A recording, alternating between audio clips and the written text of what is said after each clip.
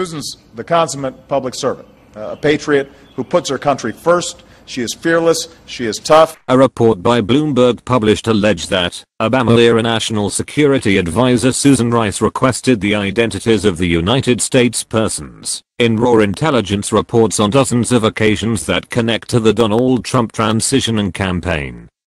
If true, this so-called unmasking could mean that Rice was the individual responsible for revealing the identities of Trump transition officials, incidentally caught up in surveillance of other individuals, lending further credence to revelations made last month by House Intelligence Committee Chairman Representative Devin Nunes.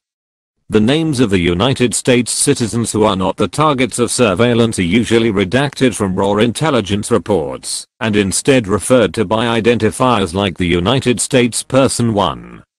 The National Security Council's Senior Director for Intelligence, Ezra Cohen Watnick was conducting the review, according to, to the United States officials who spoke with Bloomberg View on the condition of anonymity, because they were not authorized to discuss it publicly, Bloomberg reporter Eli Lake wrote.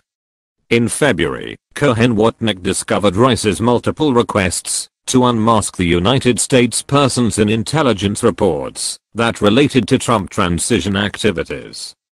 He brought this to the attention of the White House General Counsel's office, who reviewed more of Rice's requests and instructed him to end his own research into the unmasking policy. Fox News reported that it wasn't clear how Rice knew that the individuals named in the report were associated with Trump or his team.